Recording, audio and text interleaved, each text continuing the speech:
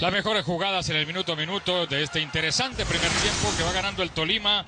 Dos goles por cero frente a un Medellín que tuvo su oportunidad en los primeros 20 minutos después de este cabezazo de Monsalve a los cuatro de Felipe Pardo en una intervención por el lado derecho, un remate cruzado. Después fue Arias a los ocho minutos, el jugador del Medellín que remató desde el fondo. Ese el jugador Enríquez.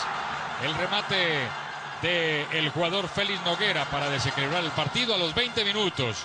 Cuando todo lo tenía desequilibrado era el Medellín. El que hizo el gol fue el cuadro Deportes Tolima y en tres minutos hizo el segundo. Una gran pared, sin duda, con Robin Ramírez de Marrugo, que lleva la pelota al fondo con un gran chanfle pegado al poste de la mano derecha.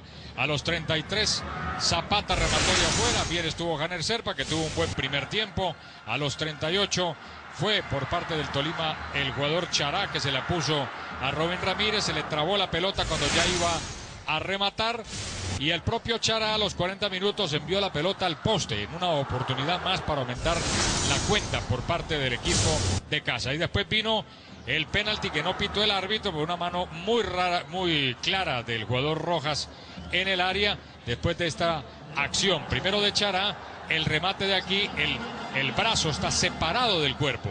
Yo creo que no hay ninguna duda. Mire. Ataca. A ver quién viene por el centro. Está recuperando al frente de ataque.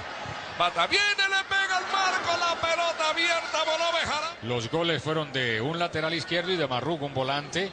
Él acciona de un momento a otro y da vuelta a el trámite del juego. Cada que llega el Tolima es un peligro tremendo al partido a pesar de que se quedó el rival con un hombre menos. Aquí viene el tiro de esquina. ¡Ojo! No levantada Zapata busca el primero.